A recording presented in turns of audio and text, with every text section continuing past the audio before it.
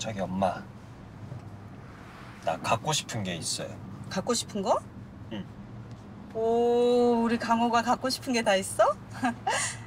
말해봐. 엄마가 다 사줄게. 강아지요. 강아지? 응.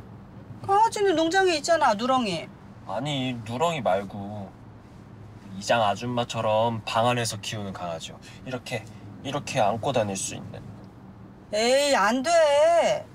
더군다나 방 안에서 키우는 건. 아우, 그 털이며 똥 오줌은 누가 다 치울 거야. 밥은 누가 주고 목욕은 누가 시킬 건데. 내가 내가 다 할게요. 내가. 강호, 너 오늘 아침에 밥 누가 차려줬어? 엄마가요.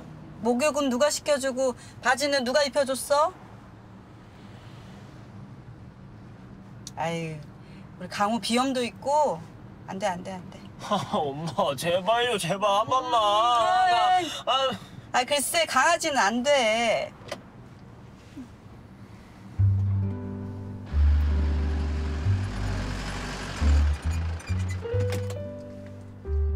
다 왔다. 내리자.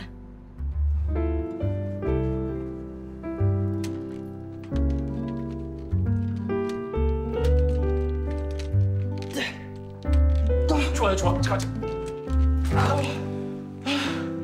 강호 씨, 너무 잘했어. 어? 강호 씨, 이제 그럼 바람을 움직여 볼까요? 저 어떻게 하면 살 수 있어요? 아, 왜 또 그렇게 약한 소리 하고 그러세요? 강호 씨, 강호 씨, 지금 잘 살고 있어요. 너무너무 잘하고 있다고요.